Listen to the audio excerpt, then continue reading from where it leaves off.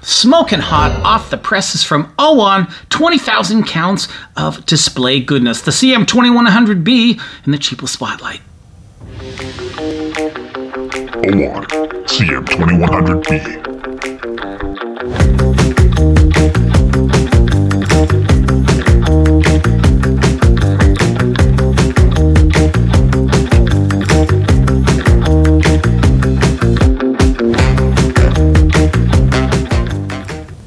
Keep on testing shout out to OWON. Thanks so much for sending the CM2100B in for this review. OWON, a name with a pretty good reputation. Uh, they've had some pretty decent test instruments in the past. The CM2100B, one of their latest incarnations in the clamp uh, genre. This is a pretty tiny clamp, uh, too big, nothing too small. Actually, I think it's pretty well the right size for that uh, portability factor. Let's get started right away. We have that OWON manual. Great looking manual. By the way, this is all English, no other languages. English with some really decent pictures. And uh, they even give you that uh, scannable QR code right here. Scan that to download the Bluetooth software. Brand new Bluetooth software from OWON, and we'll take a look at that shortly. Good stuff. As well, you get a great looking case. It doesn't have the OWON logo, but nonetheless, decent, good, heavy quality uh, zipper. And look at that, they even give us a little screwdriver because it does come with a couple of batteries, which OWON thankfully gives us a screwdriver for. Hey, why not? Why not? As well, we get those test leads. They're generic per se, but they are a good size and they're fairly thick, so easy to hold in the hand. Definitely pointy. They're not gold tipped or anything, but you know, at the end of the day, hey, for PVC test leads, I've definitely seen worse. As far as size goes, you can tell it's definitely on the smaller side, that little OWON, comparable really to the uh, UT210E, just a tad bigger, but uh, yeah, it is a small clamp. We compare it to that magnormous Sanwa, this thing is an itty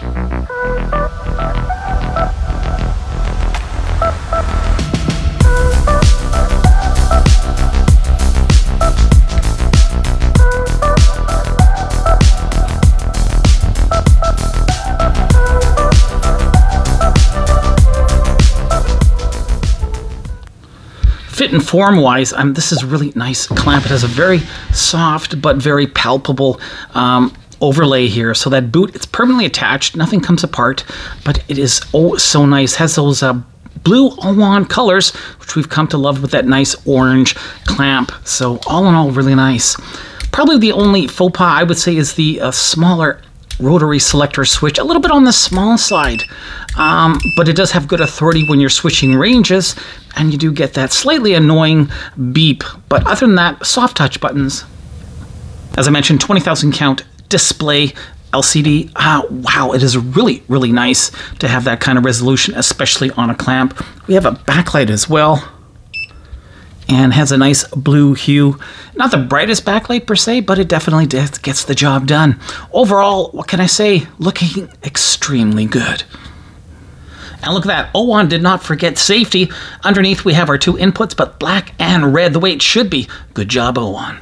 Have the digital caliper on a fully extended jaw on that OWON, and that is giving us 14.8, just under 15 millimeters fully open. So not the biggest clamp opening, but enough for most of your needs. Looking at that high res display, 5.000 is what we'd like to see. 4.992 is what we're getting. Just before we jump into continuity, I just want to point out we don't have any gauge rating on here, no AWG rating, which is kind of too bad, OWON. Uh, it's good to see what we're looking at. But anyway, that being said, lots of relief here at the end of those test probes, so I don't think these are going to go south anytime soon, so that's good to see. Alrighty, continuity, here we go. Default test leads, 3, 2, 1. Not bad, misses about every third. Maybe not. Definitely loud and latched. Let's try the Probe Masters. Probe Masters. Oh yeah, like butter, like butter. Wow, that is really loud too. 71.8 decibels, maximum output volume and continuity. Not too shabby. Quick look at diode testing. Here we go. Starting off with the red LED And we have a forward voltage drop. It is lit the green. Forward voltage drop, no, and it is lit. However, how about the yellow? Yes, it is lit. And we have a forward voltage drop. Oh my goodness, what the heck is going on? Besides my light going crazy. Try that again. Yeah. Wow. So, okay, let's go to the white. It is lit, no forward voltage drop, and the blue, same thing. So, wow. So, five out of five in terms of illumination, and two out of five in terms of forward voltage drop. Bizarro. Output voltage in diode mode 3.23 volts. So here we are, that good looking iMeter software from OWON. Go to the Google Play Store. In this case, it's an Android device.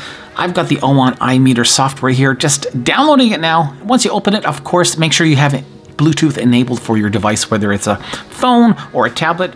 And once it's enabled, you're gonna have a few permission requests here popping up. Just click allow and you are good to go. This shows up as BDM as your device. Once that BDM is connected, boom. This is because that great Bluetooth controller uh, connectivity is just so darn fast. Here we are just going through the motions here. Uh, capacitance, voltage, resistance, you can see it is super fast. And of course we have that really nice graphical output display as well. You can uh, do sorts of sorting. Uh, you can save this as well to separate files. You can reload the files as well, which I'll demonstrate in just a second. Really nice graphing uh, capabilities here and very, very intuitive. Very simple to use. Trust me, you won't have any problem uh, getting this up and running in no time. Here we are loading that software that we just used for those resistance measurements, and there it is. Look at that, simple as can be. Something you don't see too often in clamp is that capacitance rating. This goes up to 20 millifarad, 20,000 microfarad. That is awesome. I've got a 10 millifarad or 10,000 microfarad capacitor, and let's just see how long it takes to get there. But man, that capacitance on a clamp is really handy dandy. And there we go, 9.75 millifarad, thereabouts, perfectly. Didn't take long at all. Awesome. And speaking of awesome, this also goes up to 200 mega ohm. This little guy does it all. Here's the 0.5 ohm, which a lot of meters have trouble with. And let's see if this one is any different. And it looks like it is. Doesn't like that 0.5 of an ohm. And 100 mega ohm, not an issue. Good stuff. I like the ranges as well. Not only do we have our volts AC/DC, but we have our amperage AC/DC up to 100 amps. So lots of versatility with this little clamp. As well, we have our capacitance resistance, diode continuity, frequency, duty cycle, and yeah, the list goes on. Even has a variable frequency control setting VFC as well. And suffice to say, NCV is really, really good.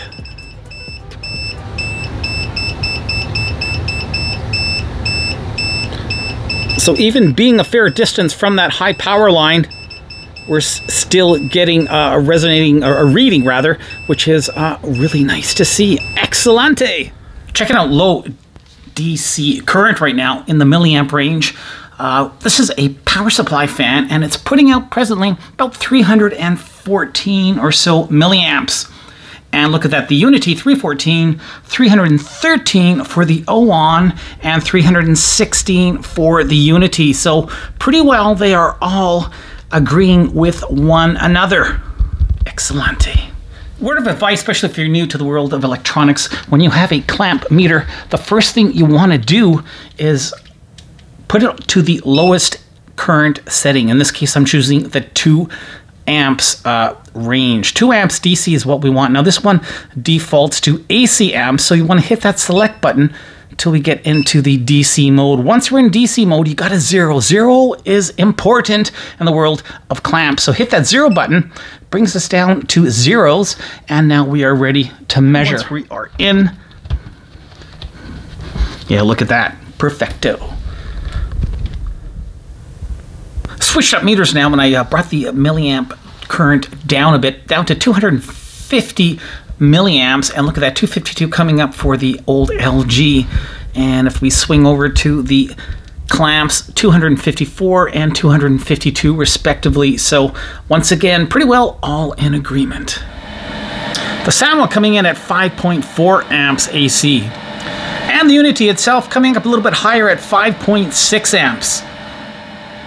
And here we go with the OWON 5.6 amps AC. There you go. Already teardown time. Here we go. Here is the uh, reverse side of that OWON body. And I've got to say, the plastics here are really high quality, high quality. Um, great molding going on.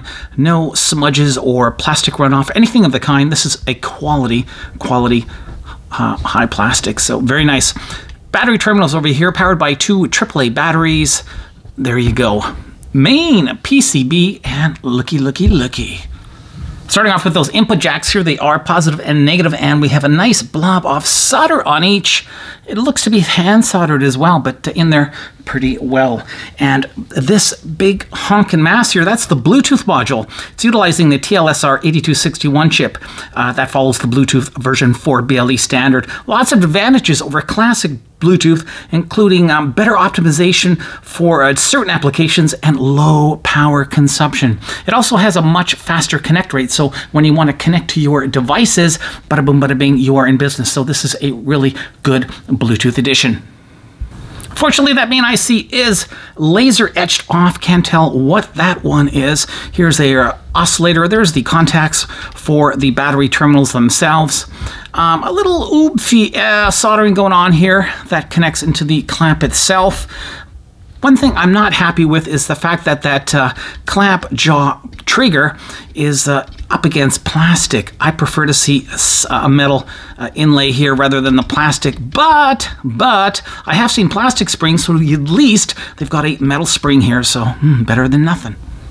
Only one lonely PTC down over here. That's it. That's all in terms of input protection. Some programmable headers for factory calibration. One other unusual thing as well is we've got uh, three trimmers over here, so you might be able to do some, you know, calibration of your own if you're so inclined. There you go. All right, all gotta say, nice and clean, no flux residue, nothing like that. Very nice uh, attention to detail. Good Q&A, and you know what? You can tell it's been Q&A. Look at that. They even have our little quality control pass sticker. Already going to put it back together. Come back with my closing thoughts. Closing thoughts the OWON CM2100B. Oh yeah, this is a keeper.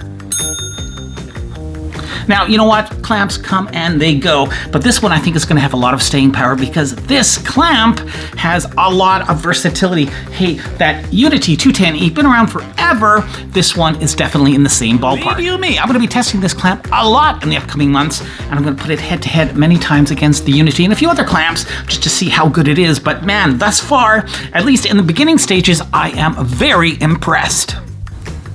You've got to love that 20,000 count display, something very rare on clamp meters, let's face it. And that backlight, guess what? It always stays on. Yes, it does not turn off until you decide to turn it off. Absolutely no issues at all with the Bluetooth software. It worked right out of the box, clean, fast, super fast actually connect.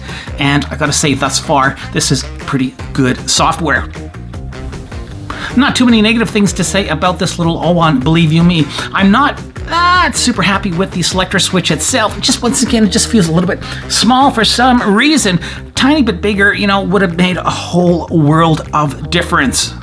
And if you're only to have one meter and you're leaning towards a clamp as opposed to your traditional multimeter, hey, this one just might fill that bill just because it is feature packed and you're not to be missing that much from your standard multimeter.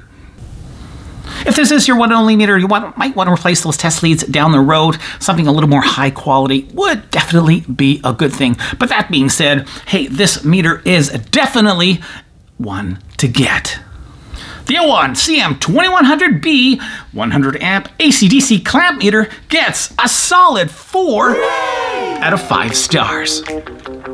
Put this in your little Clap meter to-do list because it is just that good. Hey, thanks for watching this review, everybody. Till the next one, keep on testing.